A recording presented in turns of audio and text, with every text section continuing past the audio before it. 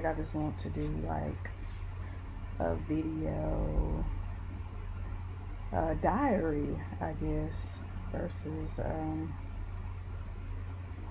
writing it down in my journal. Um, there's a lot going on emotionally with me. Um, and I just sit here and think that I sort of wrote it. So, you know, sometimes the pain and hurt of your past can taunt you for years and years, and you are not even aware, just like mentally aware that it's still sitting dormant in you. You know, there's times when you thought to yourself, you know, that's over. That's old news. And I'm over that. But come to find out, you never really got over it. You never healed from it. You know, you just um, suppressed your feelings. Um, you suppressed your emotions. You ignored them. You just hardened your heart to it. And you know how they say you either fight or flight? We took flight from it. Um, or just in that situation and just continue on in your life like the situation has never happened. So you carry around this unrecognizable to yourself behavior. You know, you get this attitude that, you know, I'm fine. It's everybody else around me that's crazy.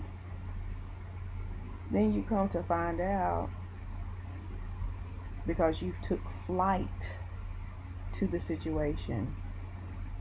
All these past feelings and emotions start arising once God makes you get in that situation. Now that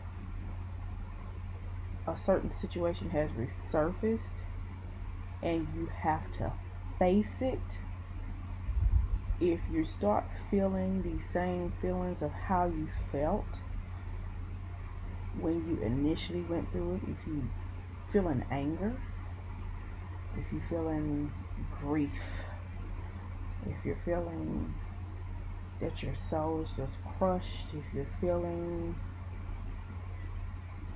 that it's overwhelming, then it means you never really healed from that situation. And I understand um,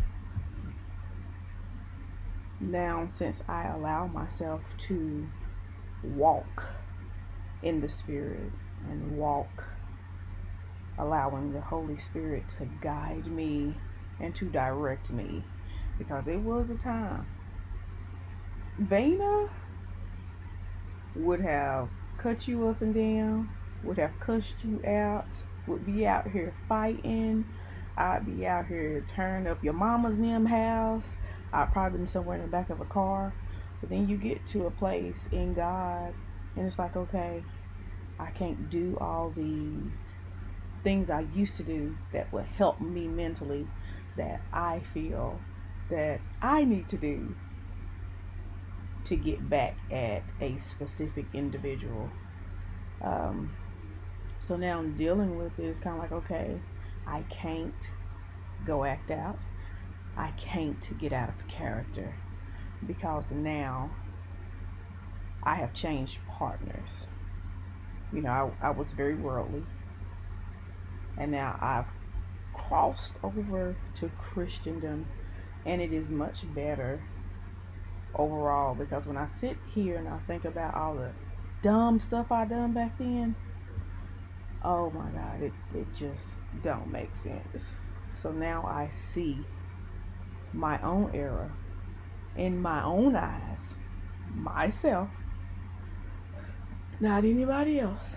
Um,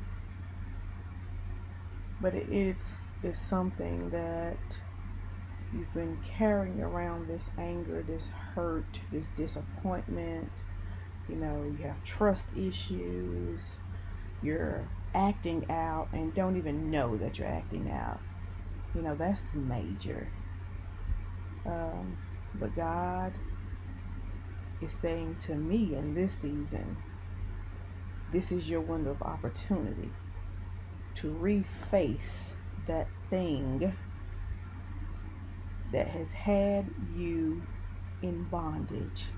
All these years, I didn't know I was in bondage. All these years, I didn't know I had suppressed hate. All these years, I didn't know that I had trust issues. But it came to my memory once I started recognizing feelings that I thought was well beyond me. Um, the Lord will put you in some places where you have no clue that He's going to put you in. So the only thing that I can say is allow yourself to heal. And that's what I'm saying to me. This is really my first time, um, I guess, discussing it or talking about it. Allow yourself to heal. Um, so you can be set free and the chains can be broken. That's just my little word for today, um, or for tonight. I understand that I have to speak these things out of my mouth and not sit here in my own introvert way, hold everything in. I'm the type of person I never let anything out. I'm almost like that secret commercial. I never let them see me sweat. I can be in these past years where I've been trying to get my anger and all that in control, which I have when I think of some of the stuff that people have gotten away with, with me being silent, but as I've been silent, I've been internally dealing with it. I just kind of flipped the script. I used to show out, you know, like I said, with the fighting and the cussing and the constant attacks. Um, but now it's kind of like I went from A to Z. And now I'm totally silent, but I battle it here and I battle it here. And that's not good either. And now it's almost like I'm being reverted back to okay, now you have to face the same situation. You have to do what I tell you to do in this situation. You have to love your enemies. That thing is so real everything in your brain is going to fight against that. It doesn't make sense to your carnal mind, but my only job and our only job is to walk in instant obedience to what he has said. And what I've had to learn is I can't look at a person. It's my dog barking back. I can't look at a person and be angry, so angry at this person that I miss that these people actually belong to God. Okay? Um, I have to bypass the person and what they did, come back around full force, full level, and I've had to learn to become the bigger person and look at this individual as a soul.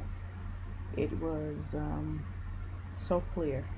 And I'm like, I've never got to the point to where, okay, how can you love your enemy? What exactly does that look like? How can you love your enemy? How can you pray for your enemy? And, but this is a season to where I'm actually walking through it. So what I want to do is I just want to video it to see my progress. Um, very weird situations.